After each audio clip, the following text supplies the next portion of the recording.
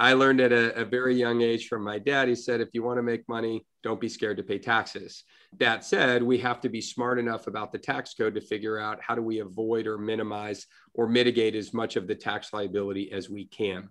So, as a general rule in an IRA, one of its you know natural functions and best qualities or characteristics is that it it's tax free. So, you know, your transactions are exempt from tax. You either pay when you put the money in or you pay when you take it out. But if I have a Roth IRA and I put $100,000 into a house and sell it for 200, I don't owe any tax.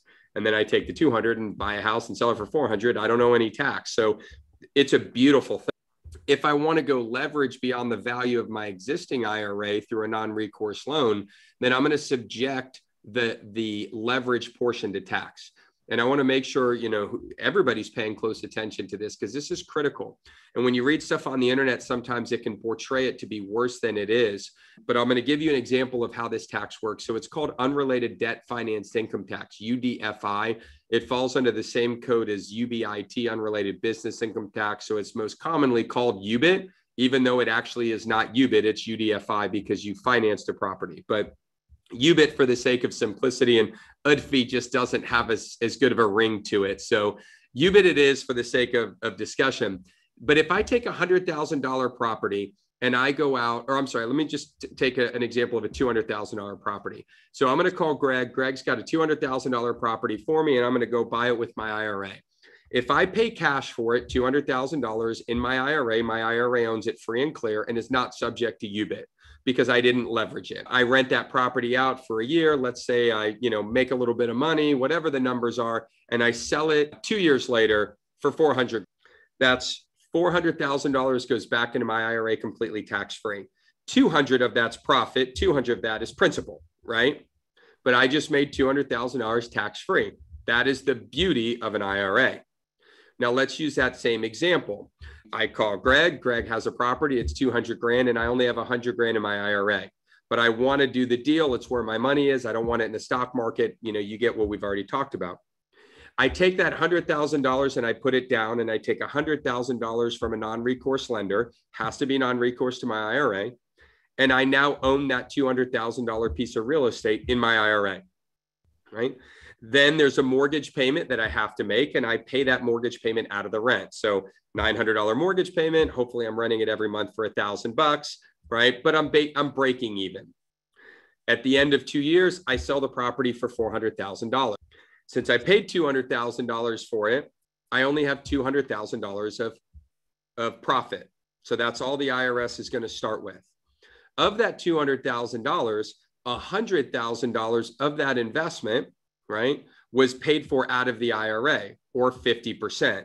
So 50% of that profit goes right back to my IRA tax free. The other 50% or $100,000, the IRS says you borrowed money, you went outside the IRA to earn this profit. So for that little piece of the profit, we're going to tax you. Even if it is 37%, and there are some ways to mitigate it, but let's call it 37%, you're going to pay $37,000. So what does that mean? It means that you bought a property for you put a hundred of your own money in, you took out, you basically took out 200. You got to pay the bank back, right? A hundred of that. So the net proceeds back to your IRA are $200,000 of profit less tax. So you pay them $37,000 off the 200,000 and you just took $100,000 from your IRA and made $163,000 after tax. So option A is I invest 200 to make 200. Option B is I invest 100 to make 167. Now ask yourself, right? Is that tax scary? Well, one in one case I make 167%, in the other I make 100%. And guess which one I made 167% in? The one I paid tax. So people tend to look at taxes and they, and I don't want to say they make bad decisions. And I certainly don't want to suggest that the person that asked the question was thinking about it in a negative manner. It's a fair question and a good one to ask. And I appreciate you doing so. But when you, when you crunch the numbers on these deals and a lot of these non-recourse deals, the tax, because it only applies to the leverage portion of the gain, actually doesn't impact your, your return enough to offset the power of leverage. Because without it, I couldn't have bought it Here's where I'll take it a step further. And am I okay on time? And I guess even if I'm You're not, good. I'm just going to go. I love it. Keep rapping, bro. If I take the same 200, right, put it in for 200, buy it for 200, or sorry, buy 200, make 400. What if I instead bought two with leverage? And now I say, Greg, I don't want one 100, $200,000 property. I'll buy two $200,000 properties. I leverage them both. Results are the same.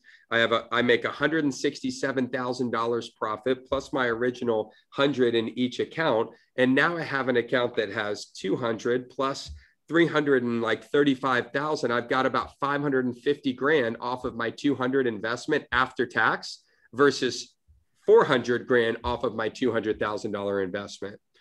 I could even take it a step further to say that now that I own two properties, I'm diversified. So if one property goes up 200% and one only goes up 50%, right? My average gain is around 110, 20% combined. Whereas if I happen to pick the, the one that only made 20%, not 100%, right? I have no diversity in my investment. So obviously I, I, love having this discussion because i think it's so powerful and i don't think you should always consider taking on leverage because i think there's a lot of benefits to buying cash and but i also think that leverage in an ira gets such a bad name because of tax but no one really stops to go wait a minute my purchasing power offsets the tax liability in almost all scenarios that said, I am not your accountant and I certainly won't pretend to be. So make sure that you're crunching the numbers yourself, but hopefully at a high level, that gave you some insight into how taxes aren't scary right? Greg, you know, one of the first presentations I used to always give, and, and, Greg and I have known each other almost 15 years. I would start by asking, how many people in the room like to make money? Right? Everybody would raise their hand, you know, and yeah. I'd say, how many people like to pay taxes? And nobody would raise their hand. And I'd say, well, then you're a liar because you can't like to make money and not like to pay taxes. They just go hand in hand. And the sooner you accept it as reality, the better off you'll be. I love this. This was this was really great. I've I, of course I'm familiar with the the concepts that you're teaching here, but putting real numbers to this is really helpful for folks. There were a lot of numbers there, but so I'm going to kind of synthesize uh, what I know and what I what I heard here.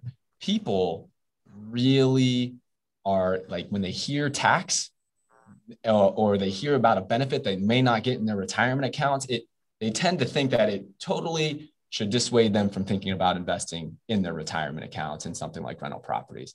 When we're talking about it here, we're talking about a specific tax that you may incur if you take leverage on your purchase in a retirement account. Another thing that comes to mind that I hear often is people will say, Well, Greg, why would I buy properties in my retirement account if I can't take advantage of depreciation on that, on the asset? And they say, Well, you know, I don't get that tax write off. Why does it make sense to buy properties in a retirement account? And I share a, a, a, similar message, which is let's change the perspective here, right? The reason why you want a tax write off like depreciation, which you get as a write off when you buy it outside of your retirement account, is because you want to write off an expense against taxable income. When you buy a property in your retirement account, you are already in the zone of not having taxable income, you know, until you, you know, until you uh, need to make a distribution, depending on the type of retirement account. So you're already getting the tax savings that you were hoping to get just by getting that depreciation write off outside of it. But people tend to think, well, geez, just because I don't get depreciation, maybe it doesn't make sense to invest in a retirement account and purchase rental properties or whatnot. So change that perspective is something that I try to do with folks. And the same thing can be said here for, for you, UBIT. I didn't even know the, the UDFI thing. I mean, I'm learning something here too. So we'll call it UBIT, but that's, that's a cool little nugget there. The big thing here is that the same advantages that you get for buying properties in your retirement account, as far as it being tax deferred or tax free, is still that way for the money that's in your retirement account right? You haven't, it's not like your entire purchase is somehow subject to this UBIT tax because you leverage on your retirement account. It's just the amount that you borrowed on. So the rest of the benefits that you came to buying rental properties in your retirement accounts are still there for that portion.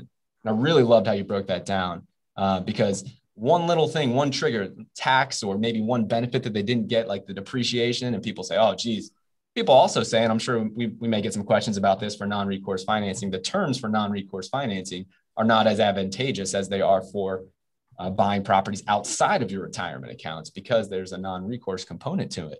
And people say, well, why would it make sense for me to pay a higher interest rate? And I say, well, well, geez, let's talk about the big picture here and going through a scenario there where you can talk about a portfolio that might have hundreds of thousands of dollars of additional gains at the end of the day because you took leverage, because you had to pay, maybe even you had to pay UBIT on it. But at the end of the day, we're keeping our minds and our and our financial goals focused on creating a better outcome years down the road. So appreciate that, brother. That was wonderful.